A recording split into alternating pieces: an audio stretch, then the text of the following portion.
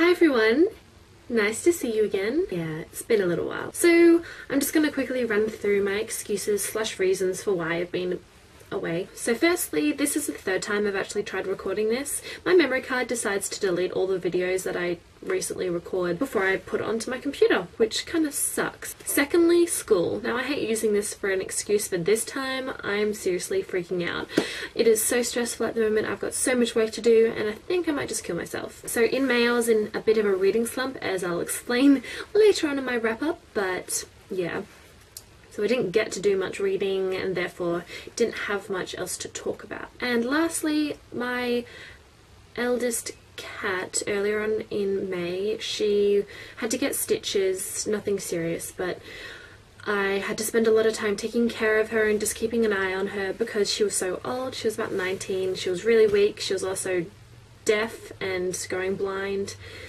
So yeah, she needed a lot of taking care of, so that took up quite a bit of my time. She did get better, but um, later on, towards the end of the month, I'm pretty sure her nervous system shut down. She just wasn't able to move, walk, eat, or anything like that. Um, so we had to put her down to kind of put a damper on things. So I'm going to get onto the books now. So in May, I read one book, and that is A Game of Thrones by George R. R. Martin. So I started this in April, and I got around to finishing it on like the 25th or the 26th of May, so that took up like the entire month. And while I was reading this, I would not let myself start anything else because I would have never finished this basically. So that's mainly why I was a bit slow on the reading side. And I actually watched the TV show while I was reading it because I couldn't really wait till I actually finished since I didn't know when that was going to be.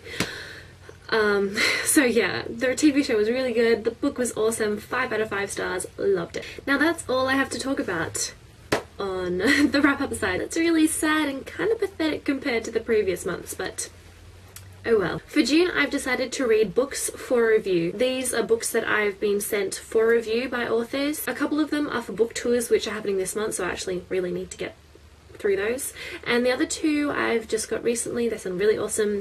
And so yeah, pretty excited to read those. First, we have Gone at 0 by C.R. Hiatt. So this book is about these three friends, Sydney, Cody, and Jared. Sydney's mother is like a spy, investigator kind of person. She's in like a partnership with this guy called Ace. So Sydney's mother, she is shot and killed and Sydney and her friends decide to take over the business. It's obviously going to be action, bit of pew pew, you know, that kind of thing. So sounds pretty good. In the Shadow of Vesuvius by Liz Carmichael.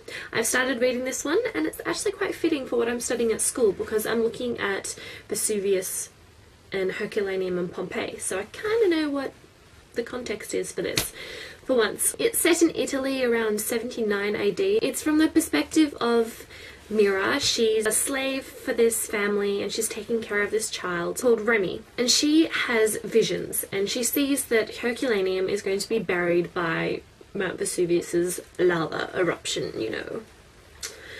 Yeah. So she's trying to escape the family and take Remy along with her as she's vowed to protect him. So it sounds really good and I'm loving it so far. Intangible by J. Meyer. Now, last month I talked about reading this short little like intro called Intuition, and that's for the book Intangible. Got a bit of a insight into what the characters are like and what's going on, and I really, really enjoyed it, so I'm really excited to read this book. It's about these twins.